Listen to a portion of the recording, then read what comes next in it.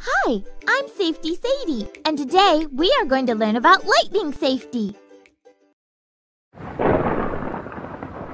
Hey, did you hear that? Yeah, but we're almost done with our game. We'll finish it and then go inside. Okay, good plan. That's not a good plan. Did you know that lightning can strike up to 15 miles away?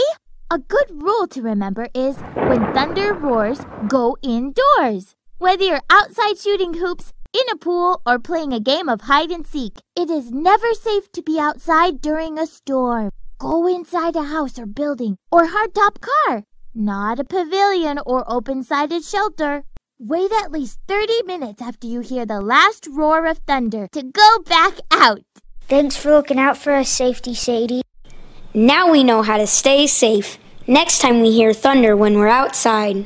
Remember, head to safeelectricity.org for more tips on how to stay safe in a storm.